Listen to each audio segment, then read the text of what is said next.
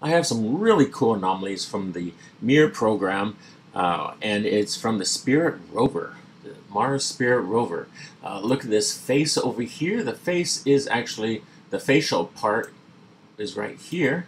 You can see the nose, eye, lips, chin, and ear.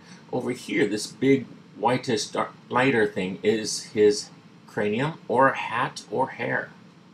So the whole head would be like this but the facial features are right here. Well, if you count the ear. If you don't count the ear, then this is his face. Eye, nose, mouth, chin.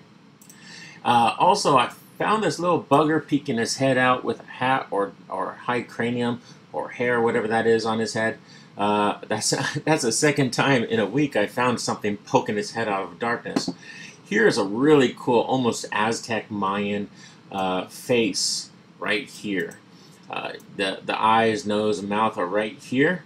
And then it has all these long ear-like objects or horns coming out of it.